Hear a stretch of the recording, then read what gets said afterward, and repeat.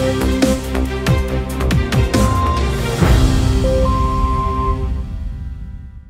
A Comissão de Educação deu início à rodada de debates para discutir a qualidade do ensino em Mato Grosso.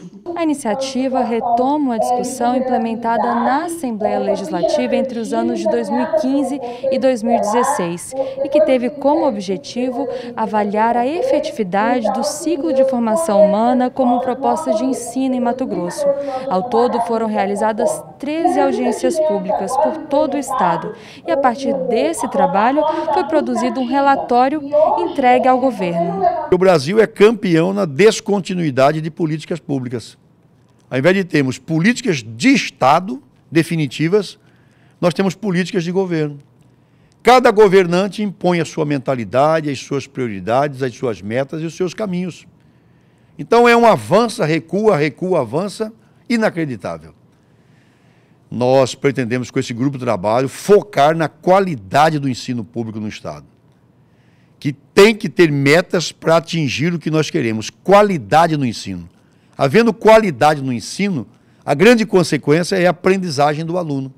E não teremos mais alunos que terminam o ensino fundamental, o nono ano, e não sabem ler, não sabem escrever, nem fazer as quatro operações aritméticas. A reunião contou com a participação de representantes da SEDUC e dos conselhos e entidades de professores e estudantes. Entre as questões apresentadas como fundamentais para a melhoria da qualidade da educação no Estado está a necessidade de investimentos em qualificação dos professores, auxílio estudantil e infraestrutura. Fico imaginando aqui qual era a situação da família para dividir os equipamentos para que os alunos tivessem um pouco de educação.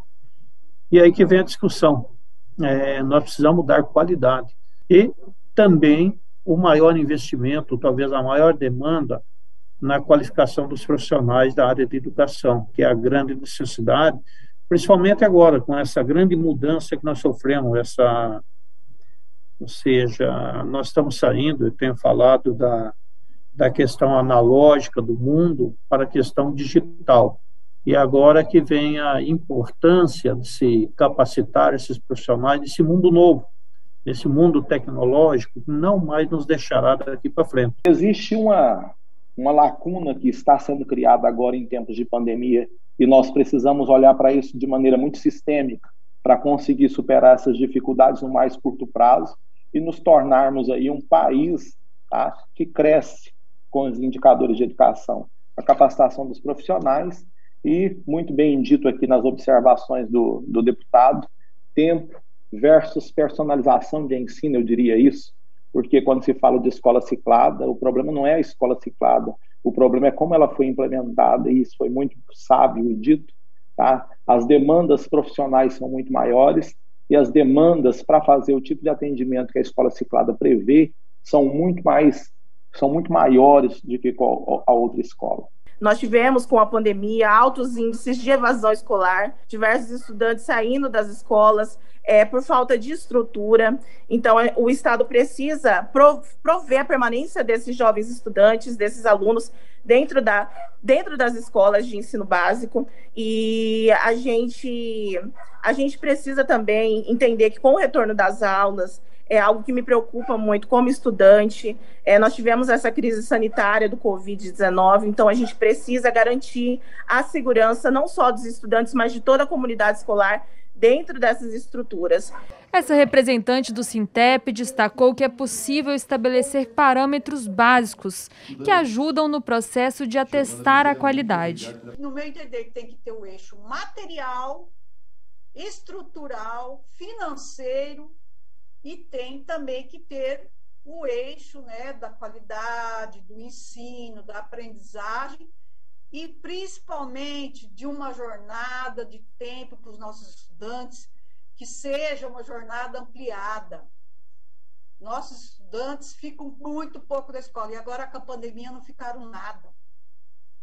Não ficaram nada e muitos estão retornando sem ter participado sequer de aula remota. Representando a Secretaria de Educação na reunião, Alcimária da Costa falou sobre algumas iniciativas do governo do estado que estão em andamento, com destaque para o Alfabetiza. O Alfabetiza vai tratar dos estudantes de segundo ano, dos alunos na idade de alfabetização, e que é, não vai haver custo algum para os municípios. O Alfabetiza é um investimento do governo do estado em parceria com os municípios para que a gente, mesmo que eles já tenham um plano, eles possam implementar visando a melhoria do ensino. O representante da ANFOP, a Associação Nacional pela Formação dos Professores da Educação, destacou que para que o ensino avance é necessário desenvolver políticas de Estado. Precisamos estruturar algo que seja sólido, um processo, sistema de formação que seja implantado enquanto política de Estado